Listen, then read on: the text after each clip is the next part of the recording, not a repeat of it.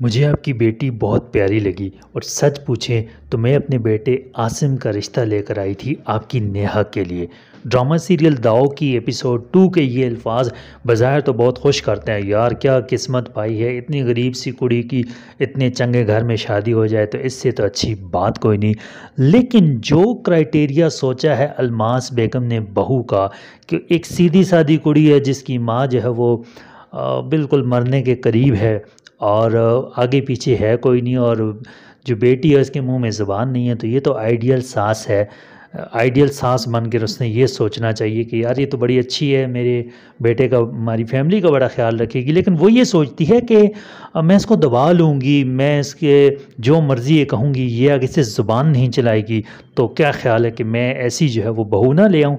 तो बहू चाहिए थी या मुलाजमा चाहिए थी? या गूँगी मुलाजमा चाहिए थी जो आपके सारे काम भी करे और आगे से उफ तक ना करे?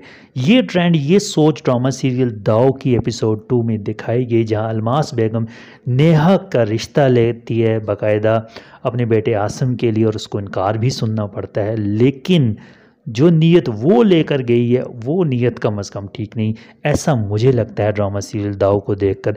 लेकिन आपको क्या लगता है, वाकई अलमास बेगम की नीयत गलत है या नहीं? लाजमी कमेंट करके बताएँ। चैनल सब्सक्राइब करें। मिलते हैं डिटेल वीडियो के साथ। अल्लाह हाफिज़।